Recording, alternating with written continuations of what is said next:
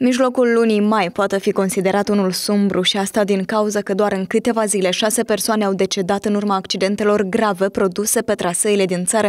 Din data de 15 mai și până la moment, victime ale accidentului au devenit doi tineri, ambii de câte 22 de ani din raionul Soroca, un motociclist de 19 ani din raionul Hâncești, un șofer de 23 de ani din Orhei, dar și un bărbat de 69 de ani și un bebeluș de numai un an de la Cahul. Totodată, potrivit Centrului Național de Medicină Urgentă Prespitalicească, pe parcursul săptămânii precedente, 76 de persoane au fost preluate de ambulanțe în urma accidentelor de circulație.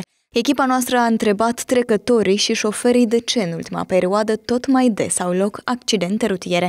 Mulți șoferi folosesc alcool înainte de, drum, de a porni la drum. Și mai cred că trebuie mai amenajate drumurile cu semafoare sau părerea mea. Fiecare regulă asta este ca un, nu știu, cum să zic, scrie cu sânge. Înțelegeți?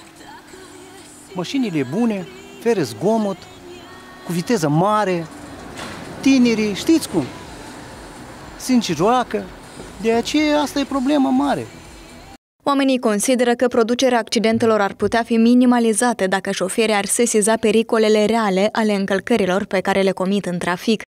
Să fii mai atent, adică urcând la volan trebuie să fii conștient că acolo ții și viața și viața numai tot la mulți oameni din, din stradă, ă, copii, poate ai familia, în, deci răspunzi de viața multor oameni.